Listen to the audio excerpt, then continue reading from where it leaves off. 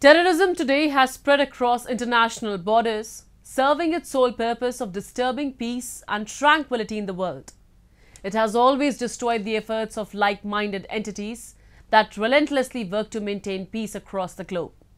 Recently, in a global address, Dennis Francis, President of the United Nations General Assembly, highlighted the pervasive threat of terrorism, acknowledging India's status as a victim of this destabilizing force. His remarks underscore the urgent need for concerted international efforts to combat terrorism and preserve global peace. We have a report. In recent years, acts of terror have transcended borders, leaving communities shattered and instilling fears in the hearts of people from different corners of the world. And the world is grappling with the damaging and destabilizing effects of terrorism. Dennis Francis, the president of the 78th session of the United Nations General Assembly, called on member states to unite in combating this global menace. Ambassador Francis, while talking about global terrorism, also termed India as a victim of terrorism. For several years, India has been itself battling terrorism with great determination.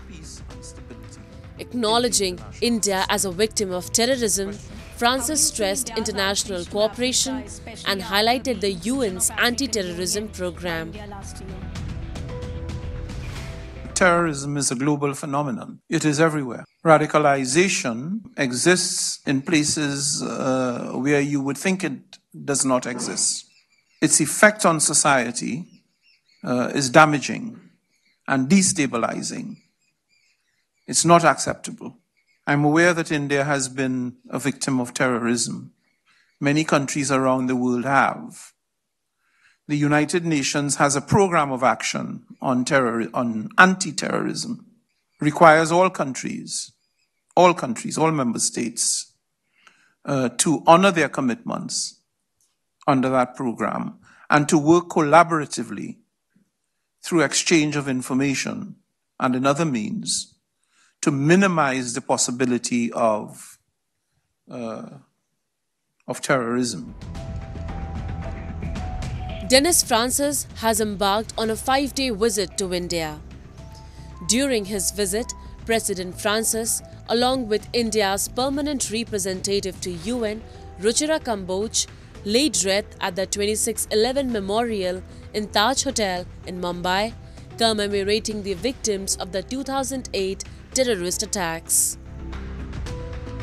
On November 26, 2008, India suffered one of the deadliest terror attacks in its history. The orchestrated attacks were executed by 10 Lashkar-e-Taiba terrorists who sailed from the Pakistani port city of Karachi to Mumbai. The horrific attack continued for over three days before the Indian forces took down nine of these terrorists. Among their ranks, Ajmal Kasab was the only one captured alive. He too, however, met his fate at the hands of justice four years after the incident.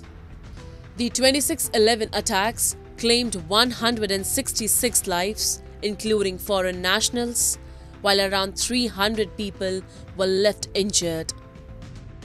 Recalling the tragic incident at a Mumbai hotel during the 2611 attacks, Francis called on the international community to redouble efforts to eliminate global terrorism. I remember well uh, the incident uh, at the hotel in Mumbai, uh, in which several people lost their lives. Um, we must, as an international community, redouble our efforts to rid the world of international terrorism. Uh, uh, no one, no one can deny that terrorism is destructive. Uh, it undermines everything we try to do in the United Nations. The United Nations prioritizes development, prioritizes human rights, prioritizes the welfare and well-being of people.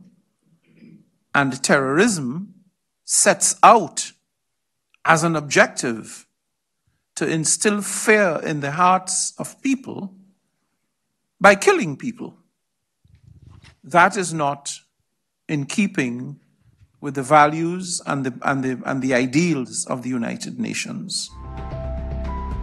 India has been engaging with everybody around the world in order to curb this global menace. It has urged everybody to be on the same page when it comes to combating a common enemy. Moreover, at the United Nations, India has always voiced concern over the spread of terrorism and asserted that those countries that provide shelter to terrorists should be called out and held accountable for their deeds.